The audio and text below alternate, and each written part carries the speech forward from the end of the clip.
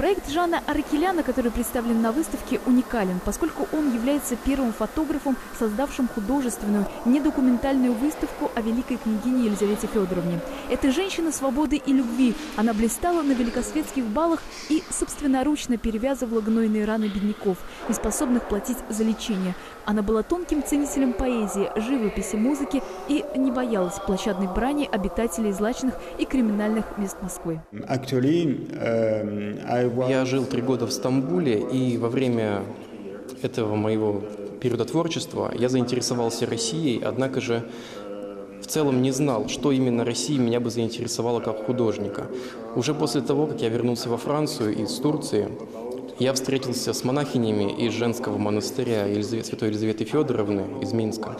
И они подарили мне две книги о ней, которые я прочитал и очень заинтересовался. Особенно меня впечатлил один эпизод из ее жизни, который случился в 1905 году. И это вдохновило меня на создание моей выставки. Жан может делать фотографии мобильным телефоном Sony Ericsson. Его рука и тело двигаются вместе с камерой, вращаются, и получившееся изображение имеет состояние динамики. Эта техника позволяет достичь необычного изображения и полнее раскрыть концептуальную идею. Его работы наполнены импровизацией, желанием подумать и посмотреть эту работу еще раз. Мы могли бы назвать его фотографом-импрессионистом, кистью которого является мобильный телефон. Я стараюсь использовать в своем творчестве очень простую технику.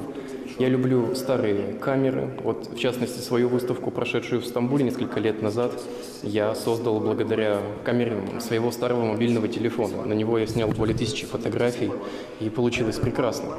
То есть это либо мобильный телефон, либо какие-то старые устройства, такие как Sigma, другие ретро-камеры со старыми объективами как я вижу свою технику и свой метод, это единство художника, фотографа с самой камерой. Надо сказать, что я рассматриваю себя не как фотографа, а как кинематографиста. У нее было все – красота, любимый муж, положение в обществе, дорогие украшения, наряды. Но после трагической гибели супруга она спрятала свою красоту под скромное одеяние настоятельницы женской обители. Великая женщина, русская не по рождению, а по духу княгиня Елизавета Федоровна поразила французского фотографа до глубины души а вернее до идеи создания персональной выставки фотографий Жана Аркеляна в Москве.